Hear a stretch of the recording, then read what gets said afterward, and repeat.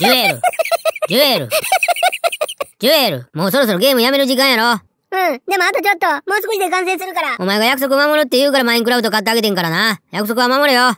うん。どうなん？楽しい？楽しい。なんか家とか作ってんの？それはもう作った。えー、ちょっとお父さんにも見してや。どんなん作ってんの？これ、おこれ何やってんの？んん焼き鳥生成器。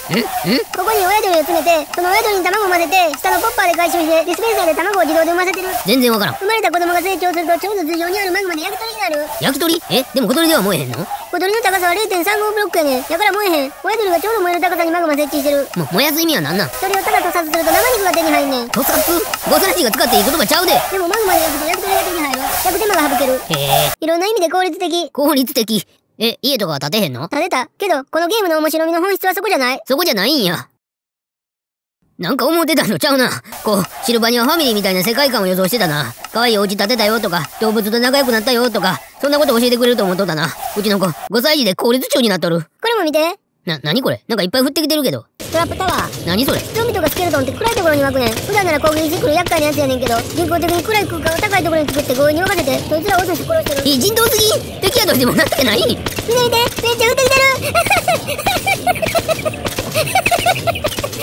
こいつらの生まれてきた意味もっと世界つかんことなってない？大丈夫？これも見て。なんこれ？人がいっぱいおるけど。隔離して無理やり子供を混ぜて増やしてる。土地狂った少子化対策、日本もここまで行ったら終わりやな。こいつら一人一人にも職業があるねん。へえ。ほら、こいつとか農家。へえ、畑仕事してくれんの？そう。あ、これ無職。無職？いいともおる。絶対なったらあかん大人。へえ。これといった仕事もつかず、周りの人間を横目に見ながら村の中を徘徊する寄生虫。言い過ぎちゃう？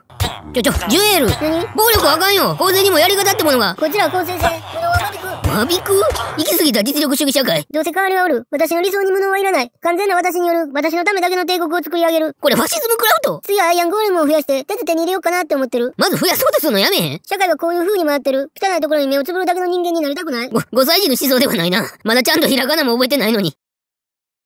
あ、犬おるやん。これ狼。あ、そうなん？名前とかつけてるん。つけてない。